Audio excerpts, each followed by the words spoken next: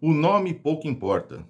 O que importa é que os trabalhadores não têm uma internacional vigente, não têm perspectiva de uma lógica dos trabalhadores para o mundo atual. Então, você pode chamar de mundo multipolar, geopolítica multipolar, nova ordem ou nova desordem mundial, pouco importa. O que importa é que é o capital que domina todos os poros, todos os cantos do mundo. Não há uma perspectiva dos trabalhadores de forma internacionalizada hoje no mundo. E é isso que nós discutiremos logo após a vinheta.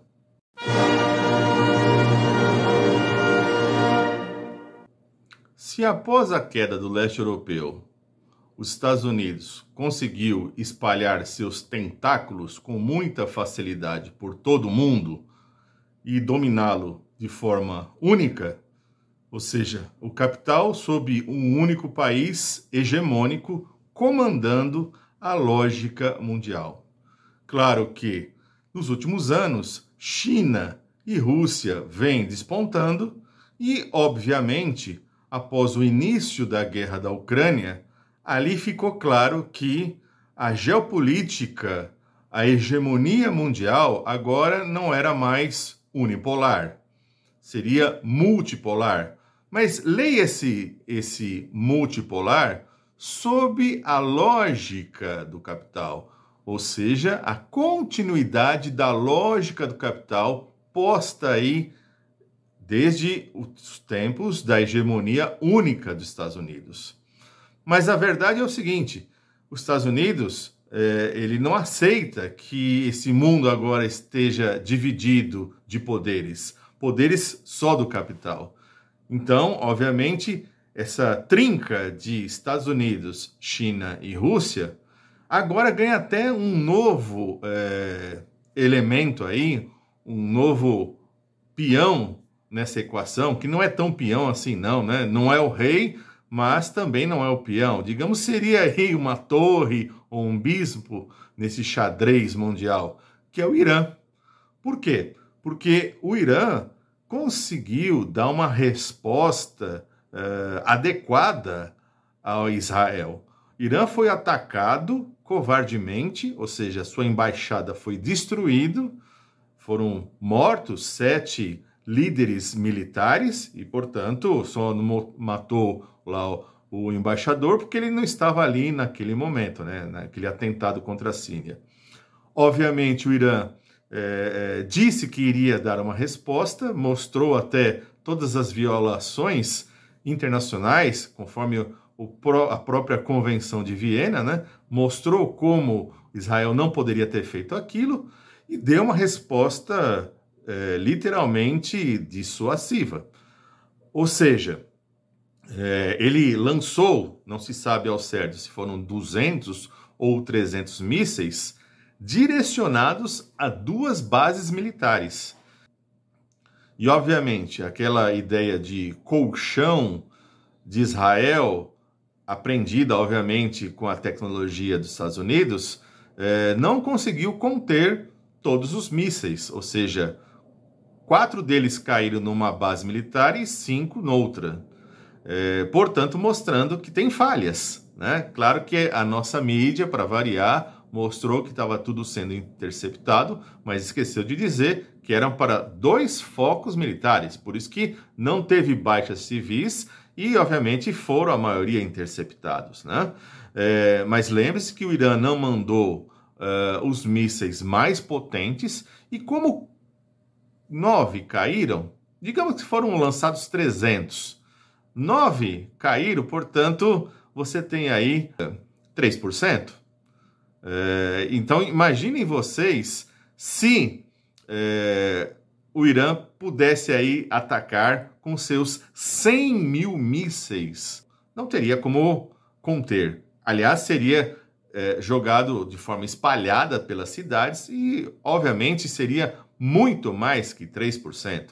Então vejam que um país que não tem bomba atômica conseguiu dissuadir uh, o ataque israelense, ou seja, agora Israel teve que engolir a seco.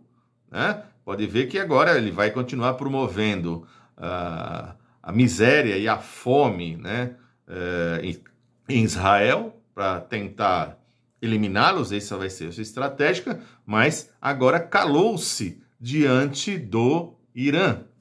Então, o Irã é o país aí, o quarto país que entra nessa geopolítica internacional e vejam, um país de uma teocracia. Ou seja, mais uma vez, nada a ver com a perspectiva emancipadora dos trabalhadores. Então, essa é a lógica que nós temos no mundo, infelizmente.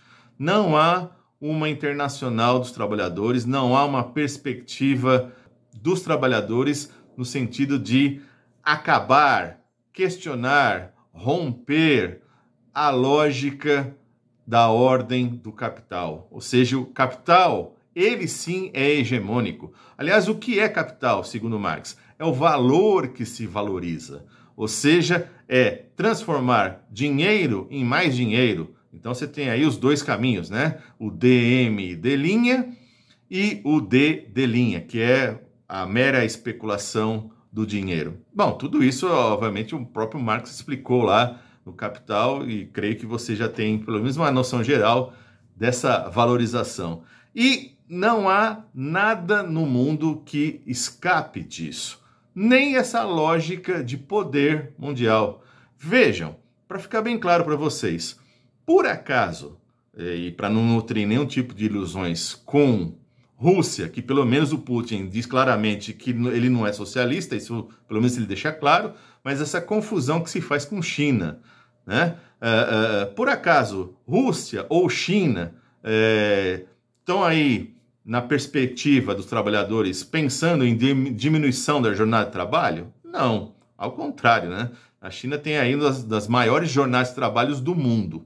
É, há alguma discussão de autogestão? Isso seria lá né, os princípios, os primórdios dos soviets, que são os conselhos, né? Ou seja, então, os próprios trabalhadores comandarem suas vidas? Não. O comando continua sendo de decisões políticas de cima para baixo e na produção a mesma coisa, a mesma hierarquia verticalizada é, na linha do, da valorização do valor é, capitalista. Portanto, não temos nenhum nem outro. Temos, portanto, alguma coisa que aponte para o rompimento da lei do valor? Não, não. E nem reformas é, é, é, internacionalistas você tem, que não tem solidariedade internacional. Você não tem o exercer do internacionalismo. Não existe salário mínimo internacional, direitos básicos garantidos internacionalmente. Né? A OIT, obviamente, é uma, é uma fantoche de outra fantoche, que é a própria ONU, né?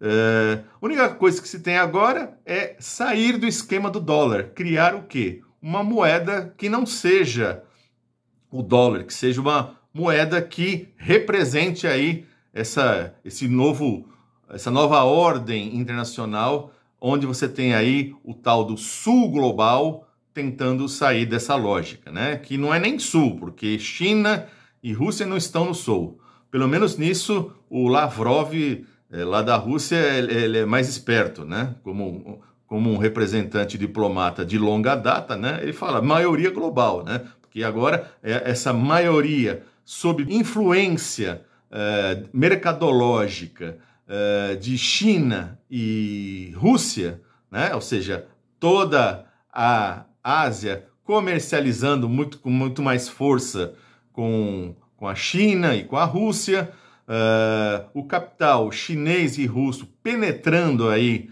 na, na África e, obviamente, vai sobrar para os Estados Unidos o quê? A própria América Latina. Então, esperemos aqui para nós pressões muito maiores. E eu digo assim: o único momento que você teve ali de internacionalismo de fato na história, é, você vê com toda a força, é as ações de Cuba. E por isso que eu estou com esse bonezinho aqui hoje, né? É, é, vejam, Cuba simplesmente é, recebia exilados, mandava soldados para as lutas de libertação lá na África. Portanto, é, Cuba sempre exerceu um princípio do socialismo que é o internacionalismo. que essa solidariedade internacionalista. O que você vê hoje de China e Rússia é o que? É, se há algo solidário, é solidário para consolidar mercado, para abrir novas fontes mercadológicas. Portanto, renovando, reforçando a própria lei do valor. Né? Então, é, não temos nada disso no horizonte de você poder romper com as amarras do capital no mundo. E entra na equação um país teocrático, ou seja, estamos mal. Tem mais um elemento que eu queria colocar aqui em relação a Cuba, comparando com China e Rússia. Vejam que hoje em dia Cuba tem um problema muito sério de abastecimento de trigo, porque, claro, é um país ali no Caribe e o Caribe geograficamente não é lugar para plantação e colheita de trigo. O trigo sempre foi de regiões mais frias. E vejam, uh, cadê a solidariedade russa que tem tanto trigo? Cadê a solidariedade chinesa com tecnologia para desenvolver minimamente as forças produtivas cubanas para sair desses problemas econômicos? Não há, né? Ou seja, exerce-se com Cuba relações comerciais como se fosse praticamente todo e qualquer outro país capitalista. Portanto, eh, Cuba que tanto fez em termos de solidariedade internacional, não estou questionando aqui os problemas cubanos internos e, obviamente, do, da, de época de Guerra Fria, stalinismo, não, mas de qualquer maneira, Cuba sempre deu, o, digamos, o, seu apoio, sempre deu sua contribuição é, para buscar à sua maneira a construção do socialismo. E hoje encontra-se numa situação calamitosa, desesperadora. Portanto, isso é só mais um exemplo para ver como a ordem do capital só pensa em mercado, só pensa em reproduzir a própria lei do valor. A situação está muito difícil internacionalmente e no horizonte próximo, uh, eu diria que aquela frase do filósofo brasileiro José Chazin está absolutamente correta, né? É o futuro ausente. E por que um futuro ausente? Porque há uma ausência de perspectiva contra o capital. E essa perspectiva contra o capital, em termos teóricos e práticos, ou seja, em termos de teoria e organização prática, é, é o marxismo que oferece. Ou seja, nós vivemos num mundo cada vez mais antimarxista, né? cada vez mais revisionista, e, obviamente, é, não há uma perspectiva dos trabalhadores no horizonte próximo. Né? dói na alma, dói na alma, mas temos que encarar o mundo que vivemos e assim nossa luta continua. Bom, se gostou, dê o like, coloque aqui seu comentário, né? Dê o like e o comentário, porque senão isso, esse vídeo não consegue, digamos, eh, se espalhar. Isso é fundamental para o canal. Se não está inscrito, inscreva-se, divulgue aí nas redes sociais para os seus amigos e colegas e aí nós nos vemos no próximo vídeo.